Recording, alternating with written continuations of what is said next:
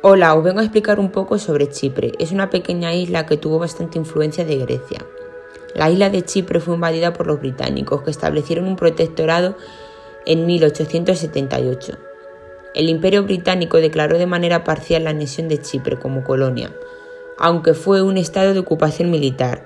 La isla aparece como escenario en una gran obra de William Shakespeare, por su obra Otelo, que gran parte de ella fue desarrollada en Chipre y se dio a conocer al mundo entero.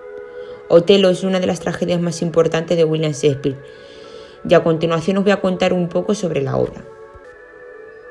Otelo es un general de Venecia y tras triunfar en varias batallas es nombrado gobernador de Chipre, que pertenecía en esa época a Venecia.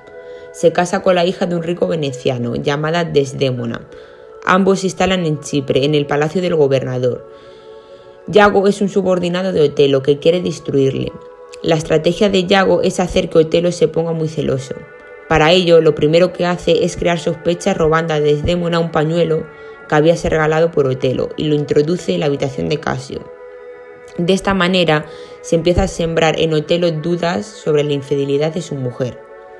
Ya noticias de Venecia, de que Casio ha sido nombrado gobernador y a Otelo se le asigna un nuevo puesto. Yago convence a Rodrigo para que mate a Casio, Dice que de esta manera Desdémona se enamora de él y se queda sin rival, ya que según Yago, Casio es el verdadero amor de Desdémona. En esa misma noche, Yago convence a Otelo para que mate a su mujer. Rodrigo no logra matar a Casio, que se defiende y sale victorioso del ataque. Otelo mata a su mujer ahogándolo con una almohada. En ese momento entra Emilia, criada de Desdémona y esposa de Yago. Revela las trampas de su marido. Su marido la mata. A continuación Otelo mata a Yago.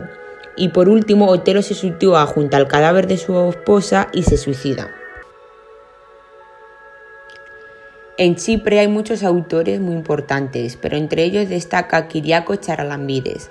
Es un poeta chipriota con mucho reconocimiento y proyección internacional.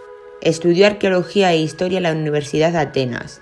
Ha trabajado como filólogo en la enseñanza secundaria y en la Fundación Radiofónica de Chipre, donde llega a ser director.